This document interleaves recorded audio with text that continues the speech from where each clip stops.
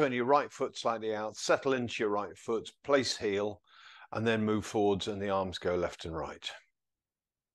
Sitting back, this is a pelvic tilt. Allow that to work and just allow the chest to relax. So you go forwards, body will turn slightly to your left towards your left knee, assuming that's the one that's forward, and then towards your right knee. So just turn. And when you do that, you'll find that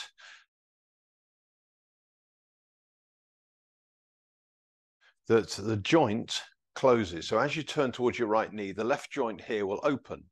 And as you move forwards onto the front leg, this joint now will close, but this one should open and then reverse it. So what we're actually doing is working on the lymphatic system of the body when you do this, because you have groups of lymph nodes in your pelvis and in the armpits. Those are the main places. And so we're working those.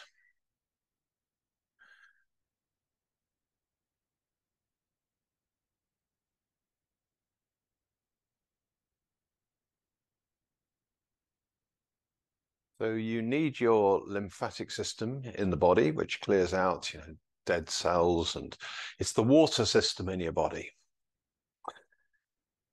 So it flushes out the rubbish in the body and helps it to move towards the liver, the kidneys, and we need to pump it.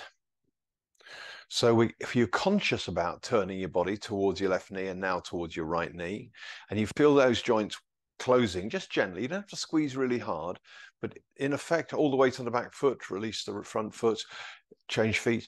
In effect, all you're doing here is you're making that system squeeze on the right leg now, if that's the one you've got forwards, and now the left. Squeeze on this side, and then on the left. And as you sit back, there's a very gentle pull up at the front there, pubic bone lifting towards your tummy button. And as the pubic bone lifts towards the tummy button on the sit back, you completely relax the small of your back. So it feels like it undoes and lengthens.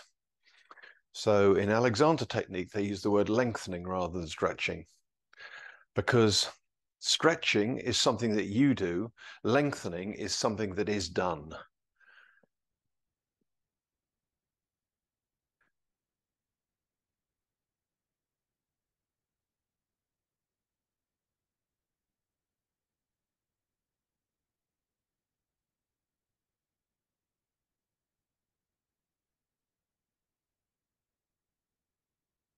Far as breathing goes with this, just breathe whatever's good for you. Really, you could, if you want to, if you want to breathe in as you go forwards and out as you go back, or the other way around, that's fine. On the other hand, you don't have to tie it to that. When you start trying to tie the breath to certain movements, it can be a stress situation because you're attempting to make something happen that isn't really ready to happen, perhaps. Sometimes it'll work absolutely fine. You won't have to work at it at all. It'll feel quite natural. You'll find yourself just doing what you need to do. But occasionally, especially if you're going very slowly, you can end up creating stress in the body as a result of forcing a breath to fit a certain pattern of movement. So you have to be a little bit careful of that. So all the way to your back foot and release the front and bring your foot in.